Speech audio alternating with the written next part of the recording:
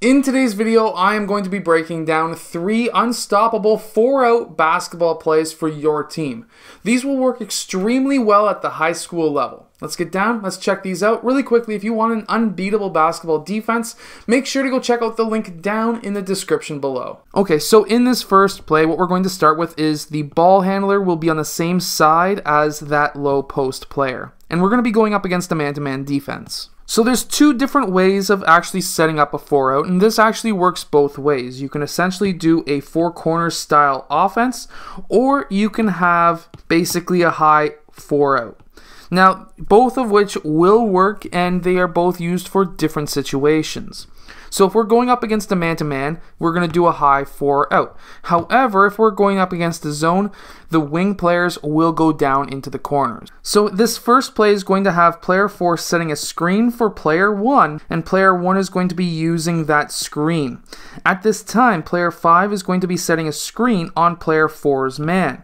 So for example, after player 4 sets that screen, or while he's setting it, player 5 is going to be setting a screen on the hedge man, which is player 4's initial defender. At this point in time, player 4 is going to be cutting towards the rim, and player 1 is going to be driving towards the rim, hoping to bring out that defender. If that's the case, we should have an easy, easy, easy pass to player 4 for a layup. Now, if you would like, because I really personally hate having players standing around, I like quick, fast offenses.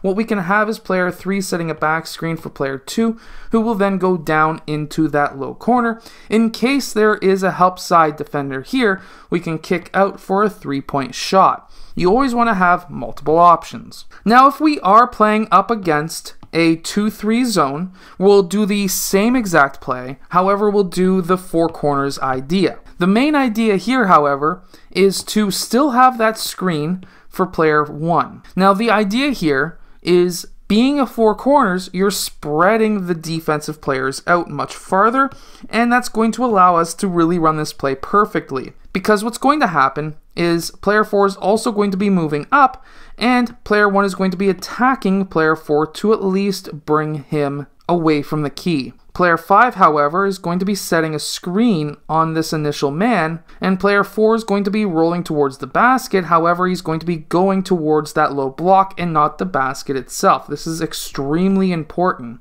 because now player 4 is going to be cutting down, Player 1 is going to be looking to pass player 4 that ball. This is going to be collapsing the defense in on him. Player 5 is going to be hopefully wide open in the middle of the key for a, a floater, for a layup, for an alley oop. And if this really does collapse the defense to try to stop him, we've got players out here who can jack up threes, or if player 3 blue was smart, he would cut back door to get a layup. Now in this next play, it's actually quite interesting, and what we're going to have here is player 1 is going to pass over to player 4, and player 5 is going to be setting a back screen for player 1. Of course, if player 1 is open, you can give him that layup, pass him that ball for that easy layup. That is an option.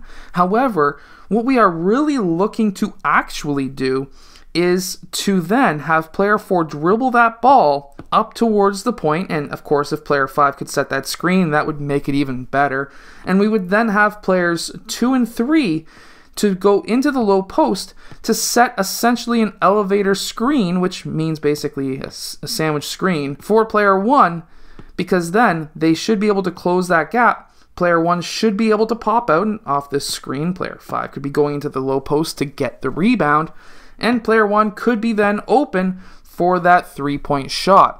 Now, this play really only works against man to man, however, it's still a fantastic option to run. Now, that last play is a fantastic play to run when you're going up against a man to man, or if you have one single player who is just an absolutely killer three point shooter, very similar to Curry.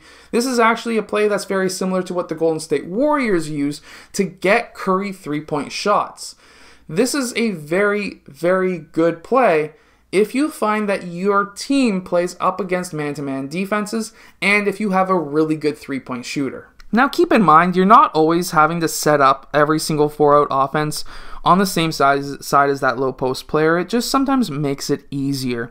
However, here what we're going to have is player 3 setting the pin down screen for player 4, and player 4 is going to be popping out.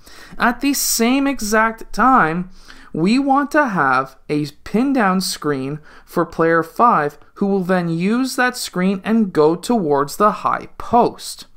Now you're probably wondering, well, why? Why are we running for a player 5 who should be in the low post? Why are we running it for him out on the perimeter? Well, I am a big proponent of having every single player being able to shoot, and of course, that's a very easy shot for a center, and also gives him a one dribble drive towards the basket if the lane is open. The other option is, of course, player 4 who can jack up a three point shot, which is also an option. However, if player 5 was to get that ball, what we can look at too is if player 3 was trying to hedge to try to cut off that pass, and if player 4 was trying to get around to recover back, we may have a nice tic tac toe play where we just pass to 5, pass to 3 for a layup.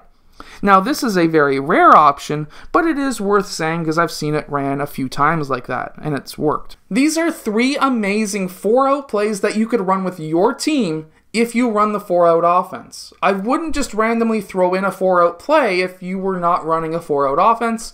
It would probably confuse most teams unless they are highly advanced senior teams. I hope that you've enjoyed today's video. If you have, hit that like button and subscribe. And I'll see you guys again next time. Make sure to go check out my book down in the description below.